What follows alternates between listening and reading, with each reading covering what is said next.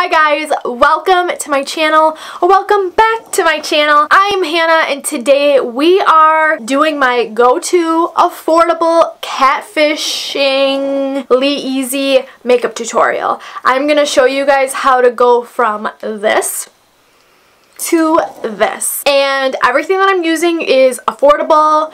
It is drugstore. It's stuff that you guys can find hopefully online. There's two products that are a little bit older, but they are easily switched out for other products. And I will try to find dupes somewhere. I am going to try to get a video out once a week. So I want to talk about beauty. I want to talk about fashion. I recently just like revamped my whole closet with Amazon. So if you guys want to see some of my favorite Amazon products, I will go ahead and record a video. Please just let me know. Let's get into this catfishing tutorial. If you guys like it, make sure you guys give it a big thumbs up. I'm so sorry I'm rambling. Comment down below what you guys want to see next and I will see you guys in just a moment. So today we are using the matte and Poreless Fit Me from Maybelline. I am in shade 220. And I really, really like this foundation in general just because you can just let this dry down all the way. But I feel like this is the type of matte that's more of like a satiny finish versus like matte where you look like you've just had the life sucked out of you. I'm going to take this just a little bit down. I'm also not taking this like too close to my eye because we are going to go in with concealer. So the concealer that we are going in today with is the Milani. This is the Conceal and Perfect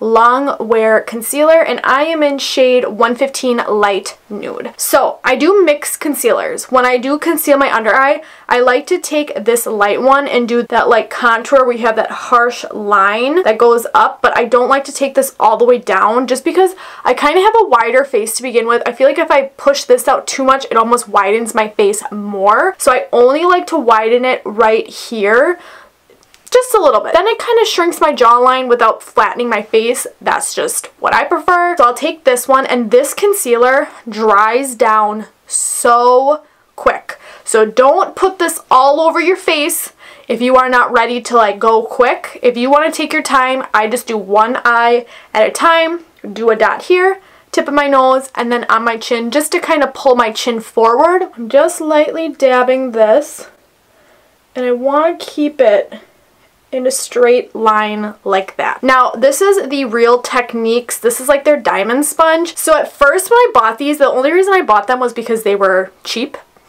just gonna say it. I actually really like them for around my eye because I do get that like nice harsh line. And this concealer is literally already dry. You gotta move quick with this one. And it's so pigmented that it almost does kind of come down, but I don't I don't want to pull it down too much because like I said, I am going to go in with a darker one just to kind of keep it so it's not so like, do you see how it like almost flattens and like widens my face? I don't want that. I want like a really pulled forward look. Do the same thing on the other eye quick. This concealer is also very matte. If you look closely, I will zoom you in now that I have a zoom lens.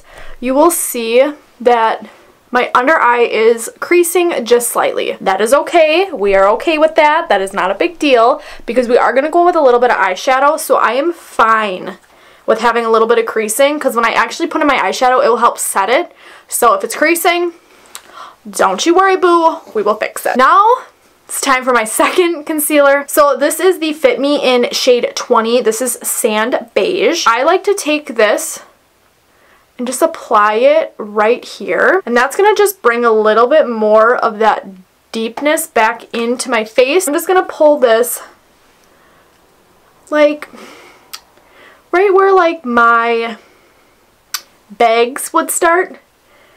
And I'm not going to pull it up any further because I still want to have that harsh line next to my nose. Almost like I'm putting it right where my blush would be. And I'm not pulling it out. I'm literally just focusing it right here because I don't want to get rid of that light line at all. But other than that, I feel like I look already so much better. And I don't know if you guys noticed, but I don't really like... I don't really waste my time trying to cover up acne because honestly, it's a freaking pimple. Everybody has pimples. Like, it's not a big deal. So if you're like, girl, why didn't you cover up that zit? Because it's, it's my business and I didn't feel like it. So that's what it is. Next, I am going to go in with a fan brush.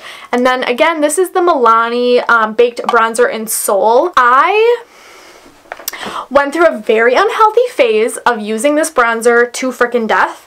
And here I am again. using it to death. So with this bronzer, I am going to take this and I'm not going to bring it up. I'm literally just to go, and you can see where the hollows of my cheeks are. I'm to lightly, I want to keep it narrow here and just kind of lightly widen it. So narrow, widen, so I'm to start in the same spot and go up and then kind of go vertical. And I want to keep doing that because it's to give the illusion that you know, you got a snatched face. But also, I just literally snotted. Disgusting. And it's okay if you blend this out a little bit, but don't blend it past that line because you want that natural line there. Same thing on the next side.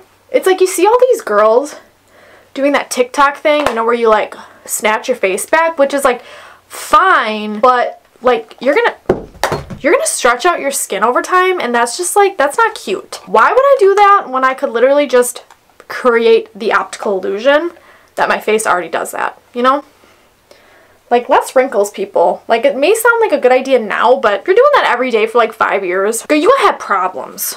So same thing, I'm gonna contour, but I'm not gonna go past that line. What am I saying contour? I'm not contouring, I'm just bronzing. Most of the time with my chin, all I'm really working on is this part here because again, I don't want to contour too much here. Also, I hope you guys don't mind that this is going to be like a really in-depth tutorial. I don't know. It just feels right, you know? Anyways, I just like to kind of focus most of my attention up on my chin. Again, I want to create it so it looks like my chin is forward. We are lessening this, pulling everything forward. Also, I got a big ass forehead, so we go contour that down too. And then as far as the nose goes, I'm not going to touch that quite yet or underneath my lip. So if it looks a little bit like really too like contrasting, it's fine because we are going to pull more of the warmth forward. I also don't have any eyebrows, so we're going to ignore that. But that is it for right now as far as the contour goes. I'm going to take a fluffy brush. This is the Jeffree Star X Morphe brush. This is the JS5. It's just like a fluffy shadow brush and it's dirty because I use it every day for this look. I'm going to dip back into my contour shade and then I am going to zoom you guys in because now I can do that. Oh my god, it's so exciting! Okay, this is what we are going to do. We are going to focus on my face. There we go. Focus on my face. Focus on my face. Focus on my face. So we are going to take this brush and then I am going to take it right where the bridge of my nose is. You see that? Oh yeah. We are going to deepen that part of our nose and then I'm just going to lightly drag that bad boy down. There you go. You see that? Okay. Can already tell the difference between this side and this side and it's so much brighter but it also is pulling that color. Don't worry, we will blend it out so if it looks a little crazy that way, don't you worry. And then I am going to pull it down right here. Goes up, bring it down. Then what I'm going to do, I'm going to take the side of the brush and I am going to literally go right along that white line. I also feel like, don't judge me. I'm going to take my brush and just flatten it with my finger like a so. And I'm just going to take it like that. See how you can have that line now?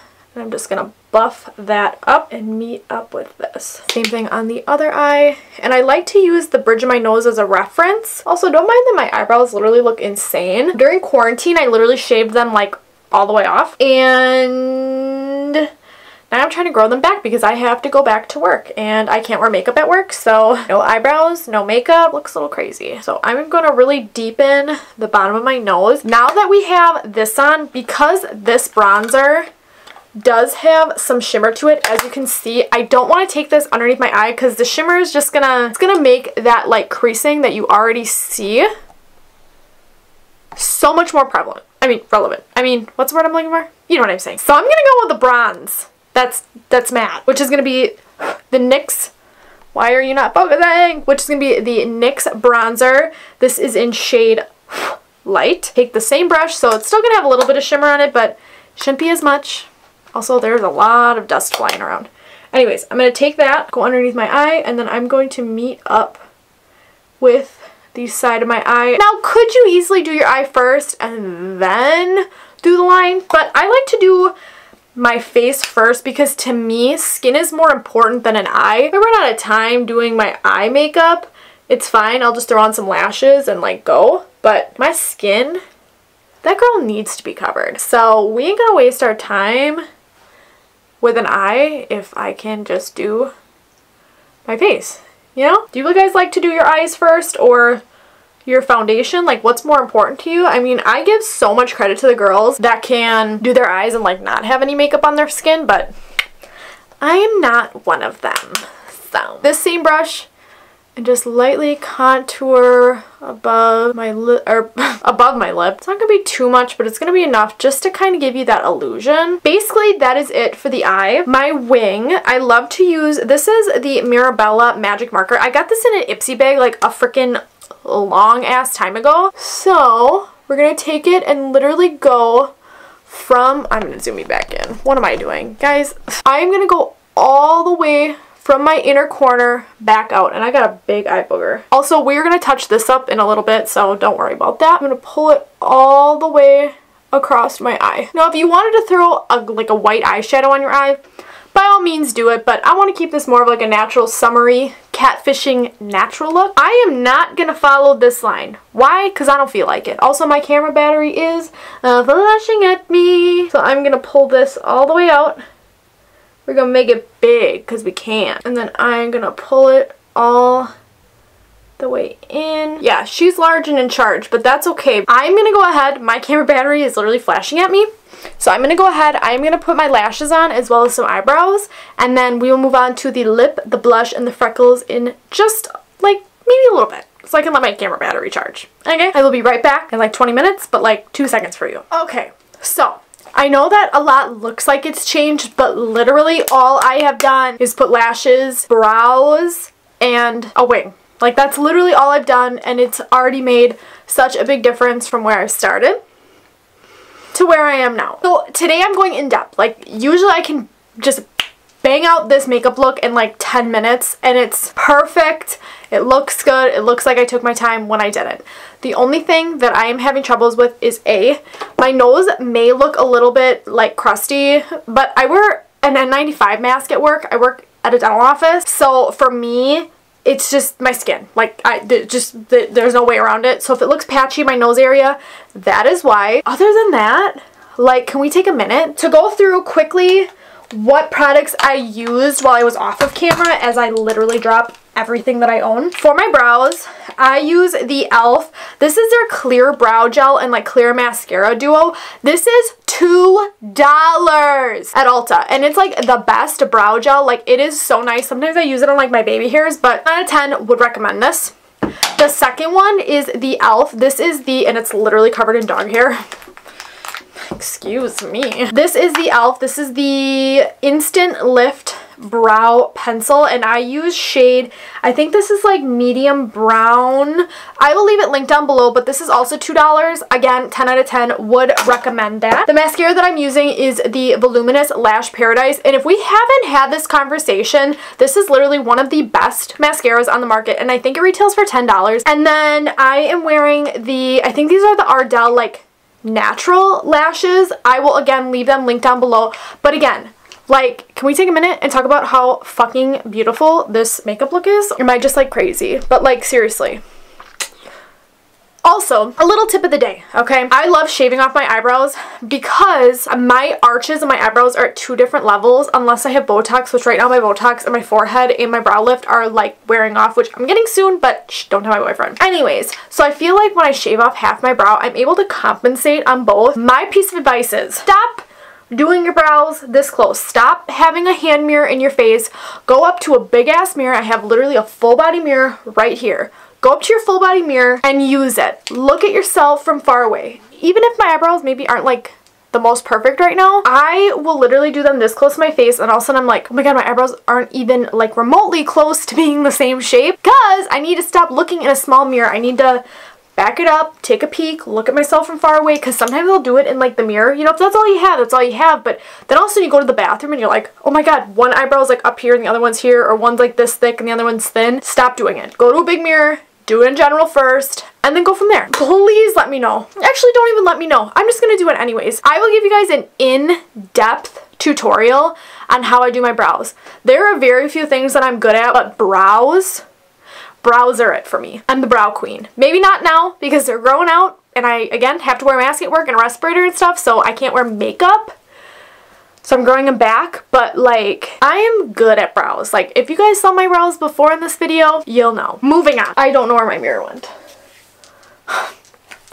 Anyways, I use, this is the Eyeko Fat Brow. Yes, it is a brow pencil, but it's actually a brow marker. And this is in shade light to medium. This thing has lasted me for an eternity. Again, it's probably expired by now, but I don't even care. This is literally the best way to do faux freckles. And I'm just gonna start dotting it. We're gonna put blush over it in just a little bit and it dries down quick and it lasts forever. And guess what? Even if it fades a little bit it fades a little bit. Who cares? Sometimes I don't even look in the mirror when I do this. Freckles are natural.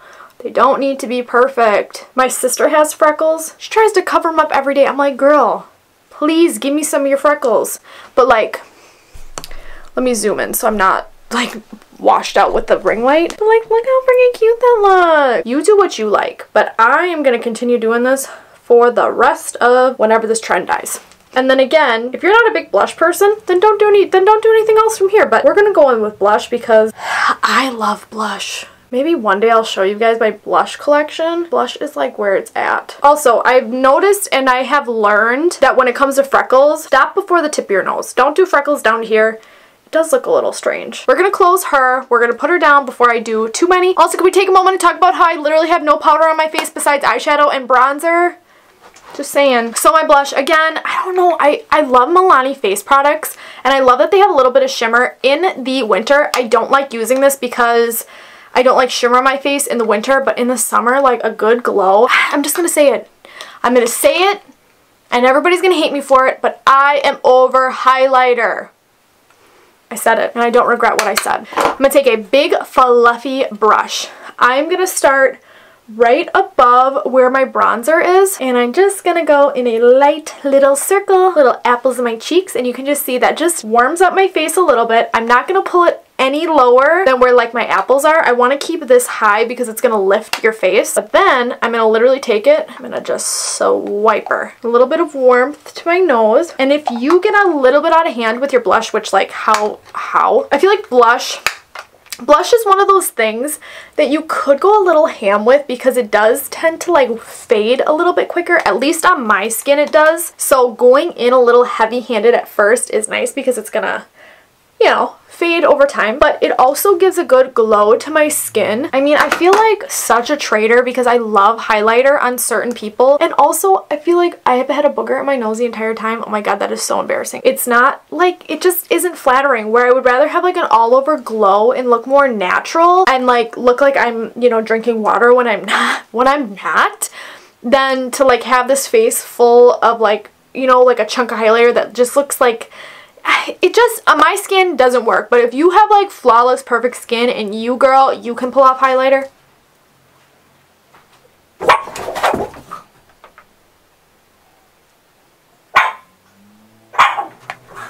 Okay, well, false alarm. Some things blew over. My windows are open. Anyways, if you are a girl that can pull off highlighter, more power to you. I'm not one of those girls. Also, if I'm closer to the camera, it's because my dog has decided that she's to sit right on my chair and not move. So we're just gonna let her do her thing. Now is the time where I am gonna touch up my under eye where like, where it's a little crust city. My Wet n Wild 3-in-1, this is their primer water.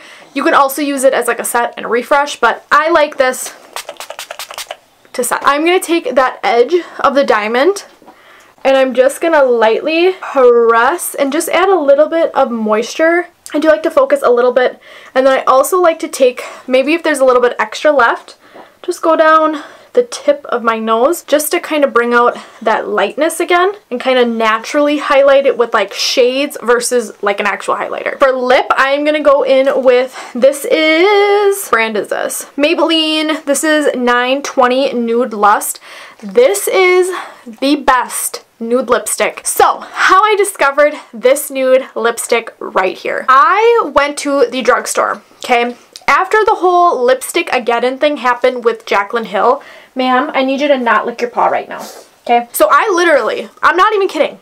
Imagine me at the drugstore, I have the Jaclyn Hill lipstick in one hand, nude lipsticks another, and I'm literally putting them side by side and figuring out which lipstick matched the one nude lipstick from Jaclyn Hill that I love. It's a little bit of nude, it's a little bit of pink, it's a little bit of orange, like it's the perfect nude. And girl, when I tell you, this is literally my perfect nude. Oh my god, I love this. And then, oh my god, I need to get my life together. Where is it? NYX. This is Everything Lip Oil, and this is in shade Sheer Blush. So it does have a little bit of a pinkness to it. I don't know, it's just perfect. And it's like, it's a lightweight gloss, but it's also like glossy gloss. It just adds a little bit extra. But I like taking gloss outside the lines because I feel like it just highlights that like in like the cupid's bow just a little bit more than like a highlighter does. See, this is what we're doing. We're coming up with ways to look freaking just snatched with less makeup. I mean, am I right or am I right? But this is how I do my look. So, I think that's it. I literally think that we are done. Like everything was drugstore. The only thing that wasn't drugstore that I used was I think the Mirabella. I'm not quite sure how much that cost, but everything else is drugstore. And again, I will leave everything listed down below. So if you guys enjoyed this makeup look, please give this video a like, comment down below. But now that I have my new camera and everything, like I want to get back in the swing of things. I, I feel like I was so defeated before. We're going to do this because this is the type of stuff that makes me so freaking happy. Also, I will leave this listed down below. This is a purse that I got on Amazon. It's like a little like um it's like a little acrylic purse, I think for the summer. Also, like, cherries are super, like, my thing right now and my aesthetic. But it's like a little acrylic purse. It's so cute for the summer. I love this. The sign I will list, I'll also leave that listed. The earrings I will hopefully be able to list down below. I got these at Forever 21. And then my t-shirt, again, I got at Forever 21. It's basically, like, the only place that I shop. Anyways, I hope you guys enjoyed this makeup look. I will see you guys in my next video. Bye, guys.